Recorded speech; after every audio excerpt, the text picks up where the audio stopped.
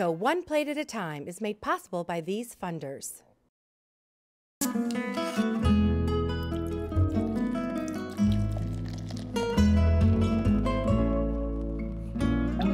Bohemia, 100 years of Mexican craftsmanship. Bohemia, Mexican imported beer. Your Chipotle shrimp, fruit tart, stir fry, marinara, enchilada, lobster minestrone, weekend roast, French toast maker has arrived. Five star. Unleash your genius.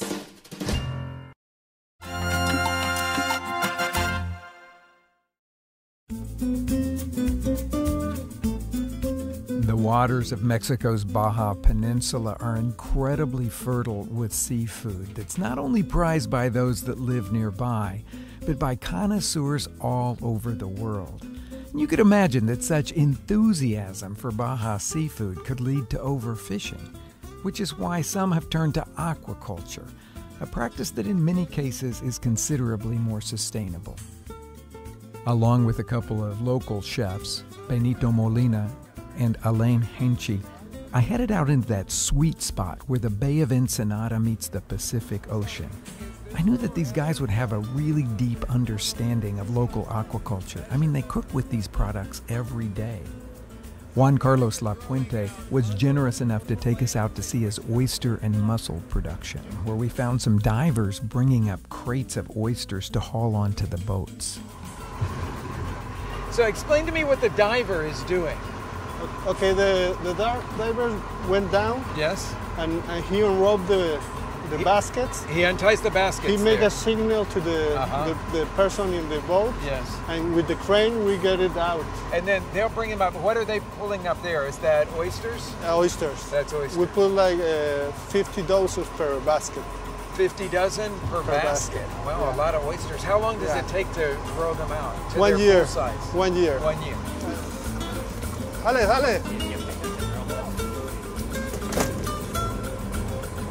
Okay, now I gotta I gotta have one. So you open open it up. You got a screwdriver here, right? Yeah. So you're doing it with a knife, and he's doing it with a screwdriver, which is what I would probably do in a place like this. Okay. It's that pure, clean sea flavor. That is brilliant. We broke into that crate of oysters. Man, I'd never tasted an oyster that fresh as we headed off to another part of Juan Carlos's aquaculture operation, where he grows mussels. But instead of being cultivated in crates, mussels attach themselves to a rope that's protected by this huge long net that they call a sock. And that's where they grow to maturity. So explain to me now, the, the, he's pulled up those mussels and they're on some sort of a line there, right? Yeah, there, there's a diver on, under the water. A diver that's down there and he's yeah. doing, he's unhooking them or something? Unhooking them. And we have uh, 300 uh, socks over the, this line. I see, 300 and, of them over here. Yeah, and it, it produced like six tons per line. Six tons per line in a year. That's a lot of, that's a lot of mussels. Yeah. That's a lot of mussels.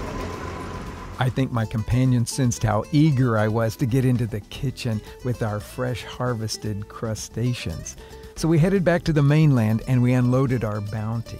There's this restaurant right on the docks called Muelle Tres, and the chefs there regularly have Juan Carlos's oysters and mussels on the menu. So they weren't that surprised, I think, to see us hauling our catch right through the front door. They began by cleaning the oysters and popping open their shells, then arranging them on a tray for us to enjoy with some vinegary sauce to spoon on. The mussels were treated with an equally simple, delicious preparation. They were debearded and rinsed. Then the chef put them in a pot and added diced tomatoes, onions, cilantro infused olive oil, and a good douse of beer. It only takes mussels a couple of minutes at a steady, strong simmer for them to open up and release their delicious liquid into the steaming broth. Beautiful, beautiful. I don't know where to start. Salud. Salud. Primero, antes que todo. Un salud. Can I pass you an oyster? I think they're fresh. I think they're fresh. okay, so we have salt, we have limon, chile, That's delicious. Gracias. They're so full. I mean, they, they taste fatty almost, you know? They're just such good mussels. There is also a beautiful story, you know? The, the darker color ones Uh-huh. are the females and the lighter color ones are the males. Is that a story or is that the truth? No, it's true. That's the truth. So what's your favorite way to cook mussels? My favorite I with uh, coconut milk and chili. Hmm. That sounds fabulous. A great idea. Well, I love mussels anyway, so now I gotta go home with all kinds. I gotta get home and start cooking. Now, my chef friend in Ensenada, Benito Molina, he makes this mussel dish with his local mussels that he calls mussels with six chilies. So that got me thinking a little bit, and here's my version of it. The first thing that you have to do is make this kind of homemade chili powder. And six chilies, well, chilies each offer something different to the mix. So I've got a whole variety of dried chilies out here, and I'm going to combine ancho chili. That's the one that's sort of that light cranberry colored one. Uh, this is the long black pasilla chili. It's a more robust flavor, deep, dark, rich. The guajillo chili, well, that's one that's bold and bright, tangy flavored. We've got some chipotle chili here. I'll put about three of those guys in here. And then arbol chili, the workhorse of the Mexican kitchen. So all the chilies that are large need to be cleaned of their seeds and their stems. Open those out like that. Let the seeds fall out.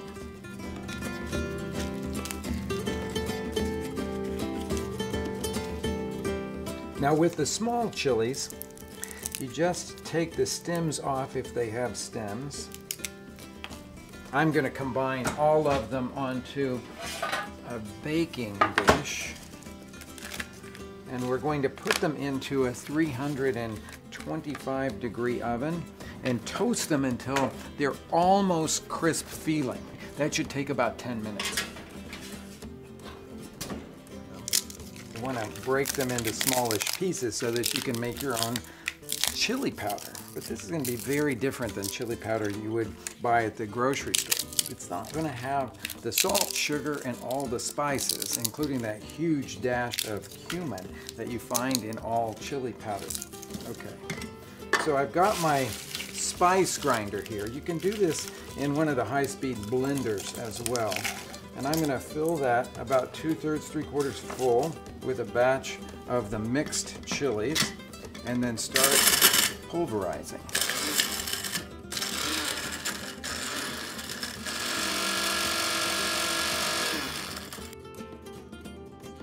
So I'll put those into a little sealable container there and do the other half.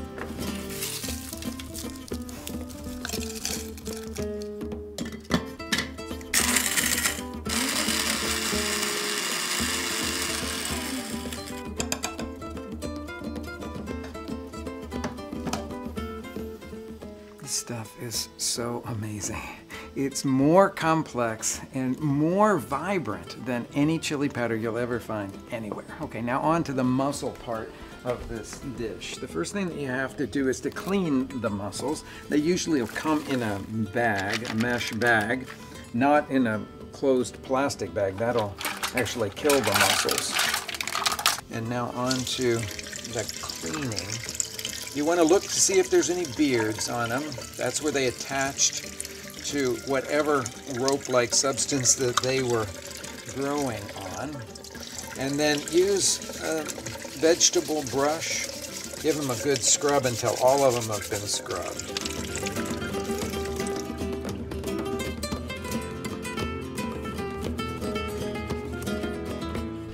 Now for the flavorings for the mussel dish, I'm going to start with a little bit of chorizo. One of my favorite combinations when it comes to seafood is shellfish and chorizo.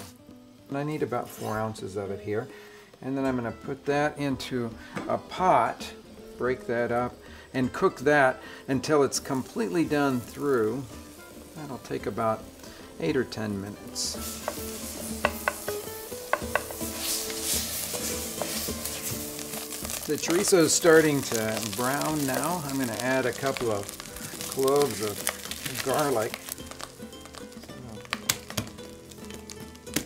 Peeling by mashing and then finely chopping.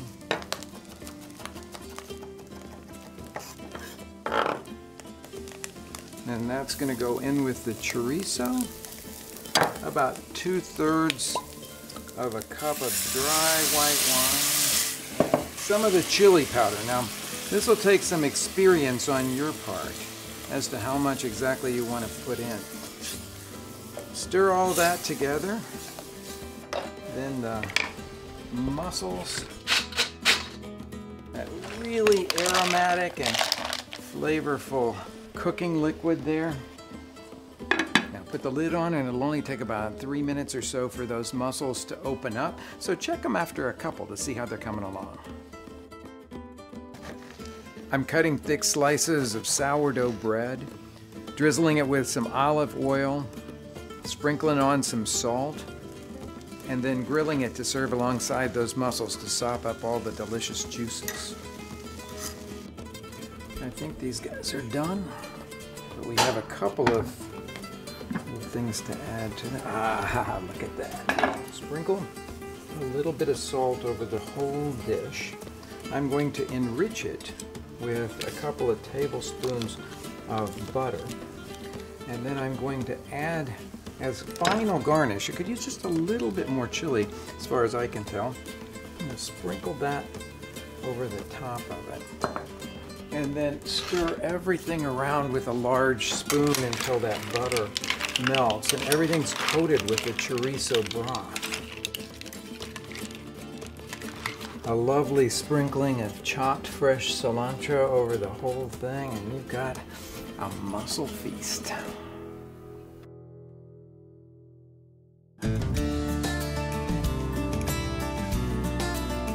Chef Benito Molina offered to step us through some of the signature seafood preparations at his restaurant, Manzanilla. I love this guy. I mean, he's an imaginative, knowledgeable, and accomplished cook whose food speaks delicious volumes about seafood in and around Ensenada. At his restaurant, Benito was offering three different varieties of oysters. He picked two of them and prepared each one differently. The first type of oyster he put into his beautiful wood burning oven to smoke over the smoldering coals. The sauce that he made for those oysters was a rich tarragon and butter sauce. I know that sounds incredibly French, but he infused it with this very Mexican blend of six different powdered dried chilies. For the kumai oysters that we had harvested earlier in the morning, he cut up bits of pickled pig's feet to add to a dressing that he had prepared with cucumbers and sherry vinegar. And the raw oysters were served with a nice spoonful of that pig's feet dressing. Next, Benito showed us a fantastic preparation for the local aquacultured abalone he's so passionate about.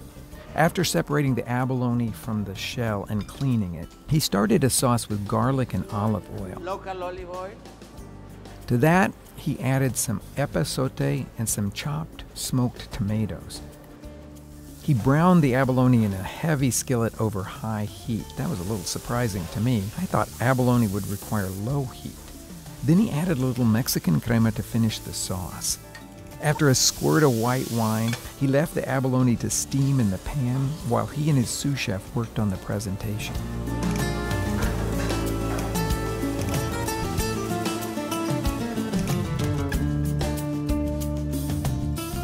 I sat down with Benito's wife, Solange, who is a fount of knowledge when it comes to local wines. I had asked her to pair a wine with each one of Benito's dishes. Now tell me about this wine. Where is it from? What are the grapes? Who made it? This is a wine that it's made in France by a Mexican winemaker. You know Hugo. I know Hugo, Um, Hugo D'Acosta. But I wanted to surprise you. You really did surprise me in that. But you know, the food here in Baja is such a mix of different influences from different places. Uh, these oysters, smoked oysters, and then it's got butter on it with French tarragon, which certainly will go there, and all of these different chilies powdered in there. So it's a mix. It's a mix. Okay, I've got to try it. one of these Yeah, because love when it. you know me, I, I'm always salivating as I think about these beautiful flavors. I'm loving that. I know, you you have surprised me beyond belief here. I'm ready for the next dish. Me too. Okay. the first wine had a lot of golden color to it. This is a much lighter colored Mm-hmm. wine. What is this one? This is wine is from Porvenir, de la Escuelita. I think it's Sauvignon Blanc. It tastes Plain? like Sauvignon. Yeah. It it has that flavor that I associate with Baja wines. That is Saltiness. Yeah, it has a saltiness. saltiness, and that is something that I think is characteristic, especially of the white wines that you find from the Valle de Guadalupe. Now, when I think about that mineral and salty, I think about oysters. Yes. So I can't imagine what the flavor is going to be like exactly. You're you're in that place where you've got the similar textures that sort of little bit fatty pig's foot is mm-hmm. like the fattiness of the oyster. And that chewiness, no? It's that that's I'm sorry to say the only word I can come up with is brilliant. I know, okay? I know. That is It's a good recipe. brilliant. That's a good recipe.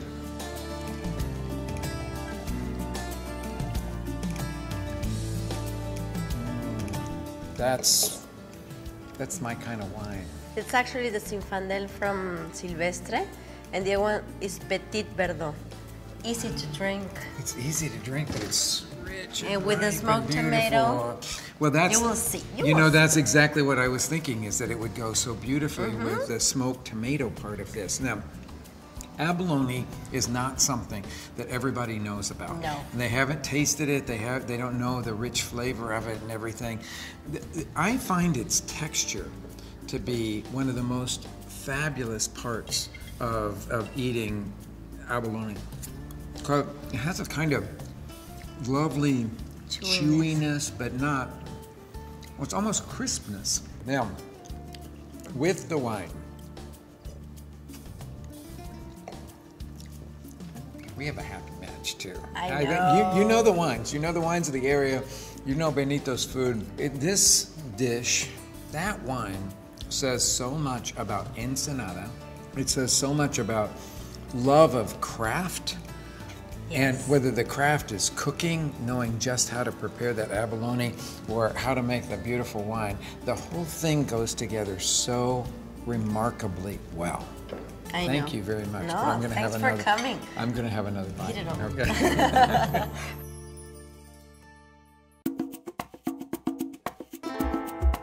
Let's be honest, abalone is pretty unfamiliar to a lot of us. And so is erizo, sea urchin. But erizo is so abundant here that it's actually the namesake of a restaurant in Tijuana that's owned by another of my chef friends, Javier Plasencia. And if you've never had it before, there's no better place to try erizo than at erizo.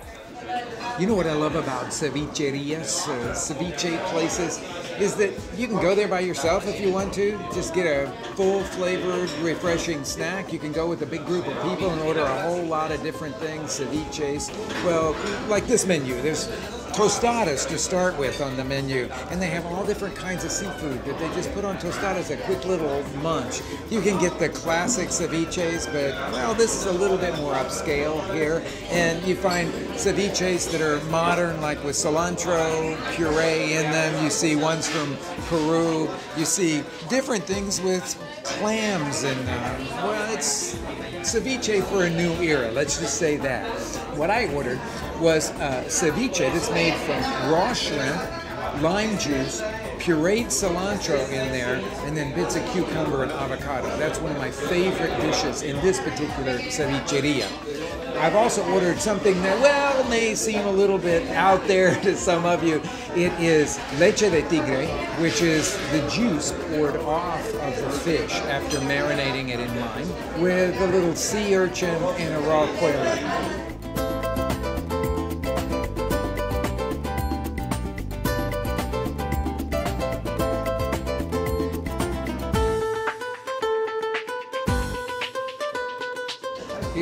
Shrimp ceviche tostada with the puree of cilantro in it, the little bit of cucumber, the red onions.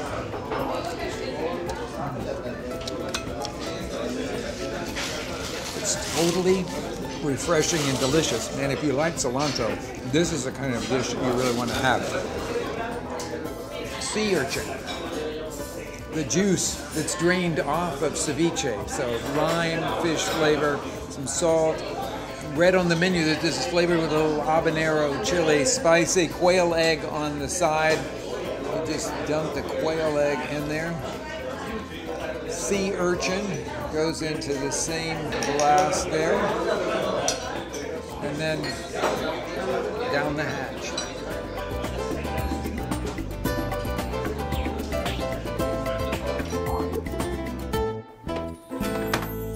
Ceviche is all about freshness. And the good thing about making shrimp ceviche is that, well, most of the shrimp that we can buy is very fresh right before it's frozen.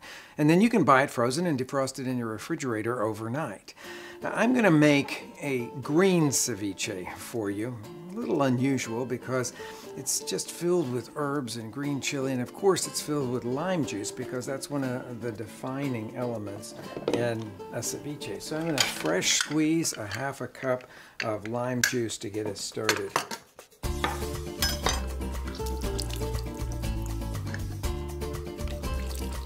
And to that I'm going to add a couple of tomatillos, just raw tomatillos. When you use them this way, they have a really light and tangy characteristic to them that's beautiful with the shrimp.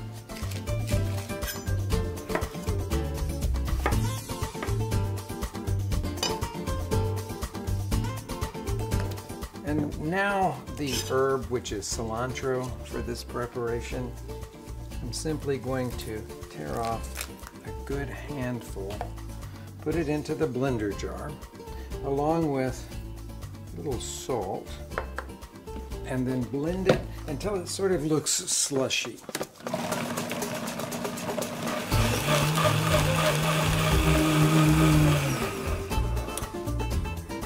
The next step is to cut up our defrosted shrimp. This has already been peeled and deveined, and I'm going to cut it into about half inch pieces.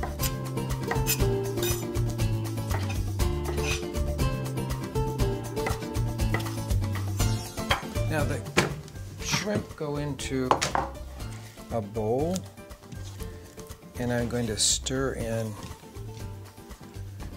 our green mixture.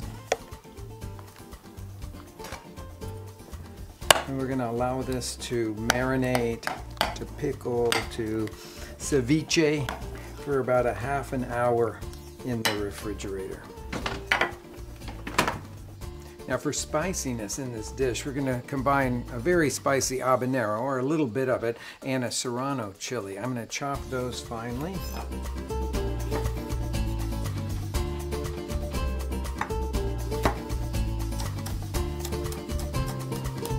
Now a little chives.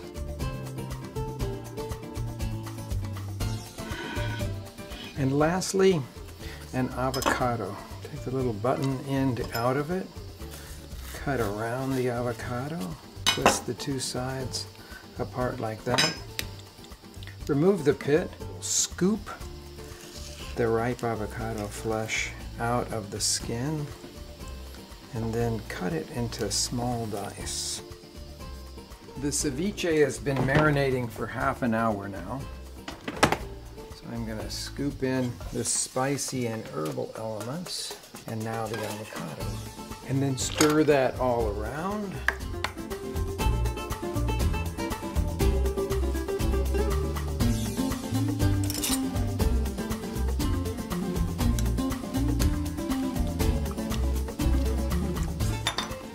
You don't even have to be at the sea to enjoy great seafood.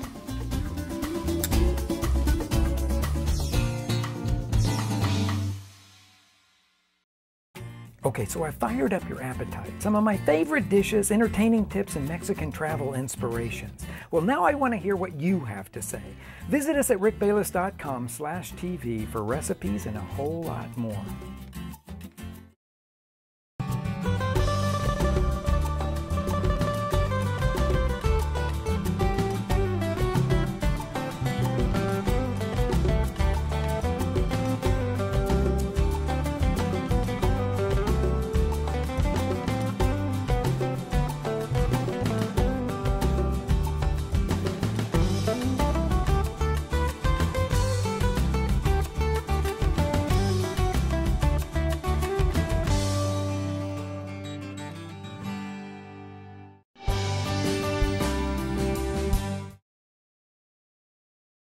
This program was made possible by